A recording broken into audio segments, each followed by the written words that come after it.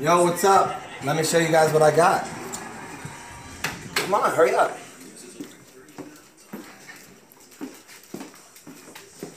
So there's only two people in America that are gonna have a Britney Spears shower curtain, and that's me and Rocket, my old, you know, my old lover down in San Diego.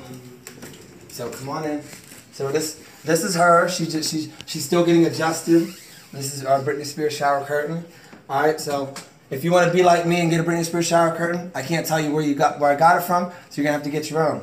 But we know Brit- Brit- Britney Spears ain't got no lines on her face. So Rick, when you get it, you take your hair dryer, get rid of those lines, because Britney Spears don't have no lines.